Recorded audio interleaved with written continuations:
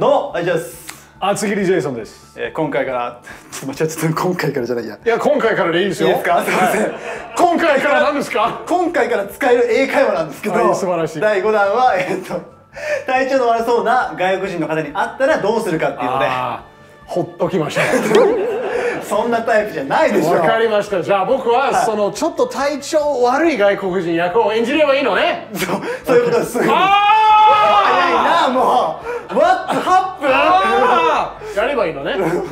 言ったのに乗ったのに。やりましょう。はい。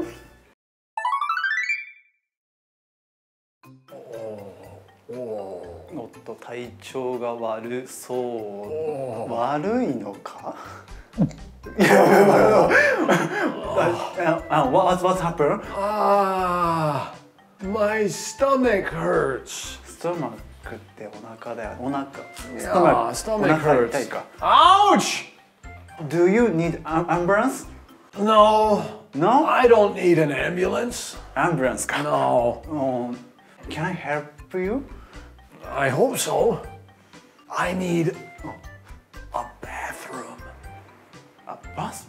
Bathroom? bathroom I need to go to the bathroom Bathroom? Yeah あー レストルームバスルーム Yeah もうトイレで Toilet あトイレ I need to go to the トイレ toilet ああトイレ Hurry ハリー、sorry, sorry, sorry.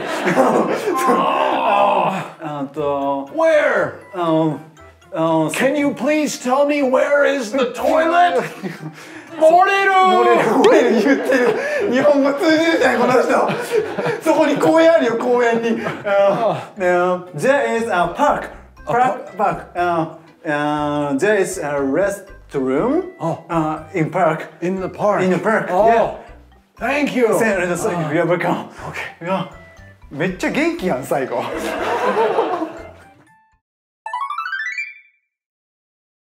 あでもなんかいいですよね。ちゃんと助けようと思ってたのは伝わりました。ちょ伝わりました伝わりましたねあ助けられてたかどうかが怪しいですけどっと怪しいですけど、はい How can I help you? というフレーズは良かったと思いますね。それ How つける多分 Can I help you? ってそう、Can I help you? 言いましたんですけど、まあそれもそれでいいんですけど、はい How can I help you? その How を足すと、は何をすれば力になりますかという。How can I help you? はい。でも Can I help you でも全然ほぼイコール、ほぼ一緒でしたんですよ。ちなみに最初の、はいどうしたのって What's happened って言っちゃったんですけどあそうれ What's happened は間違ってるんですけどですよねはい What happened? えもしくは大丈夫ですか ?Are you okay? ああ Are you okay? Are you okay? もう聞くのは大体調悪丈夫です、ね。そうだからもう Are you okay? そう、全然聞いてくれなかったよね。ごめんはいごめんなさいすいません I'm okay. OK I just need to use the bathroom. そうバスルームそう、bathroom。これもなんか多分国によって違うかもしれないですけど、は僕は生まれ育ったアメリカの地域ですと、bathroom というと、レストルーム、トイレの意味になりますね。レストルームでも通じると一緒一緒それもイコールですね。バスルームってどうしてもちょっとお風呂のイメージがそうなんですよね。なぜかというと、はい基本アメリカの場合はそのユニットバスああなるになるので別の部屋にお風呂があるのは珍しいかもしれない。Water closet は伝わらないです。あ伝わらないんですね。伝わらないと思いますね。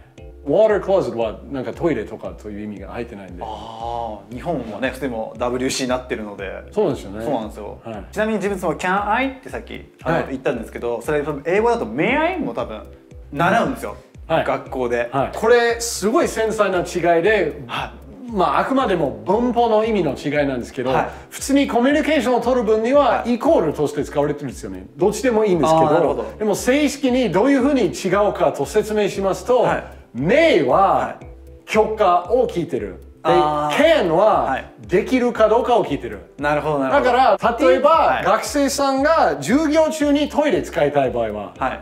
can を言ったら、は多分はいできますでそのまま授業続くんですけど。ああなるでほど。それは名と can の違いを教えるために名を言うまでは活かせません。それはよよくなんか印象に残ってます。だからできるとは言えるけど言っていいとは言ってないっていう。今までは一度ぐらいやったことあると思いますので できるだろう。はい。はい、続きつって「いやあじゃあ may I? あはいどうぞ」つって。あそうなりますよね。皆さんにもその May I help は May I と Can I も、はい。なんか分かった上でぜひ使ってもらえたらと思います。はい。じゃあ世界中の困ってる外国人全員救いましょうああ脱水した 日本語喋ってんだよそうそう What happened? I was walking and my stomach started to hurt. How can I help you? I really need a bathroom. There is uh, a park over there Oh, and uh, there is a bathroom in this park. oh, great. Oh, thank you. Yeah, you're welcome. Uh, by the way, why does your stomach hurt? Oh, I ate way too much ramen. 食べ過ぎかい。多分それが由来かもしれないですけど、はい、多分小説あり。小説あり。 あれそんな持ち歌ありましたっけ？はい、ないです。ないんかい。すごい自信満々で言いますよね、今それ。もちろん。あ。小説ありを足せば何でも言えますからね。まあまあ間違いないそうですね。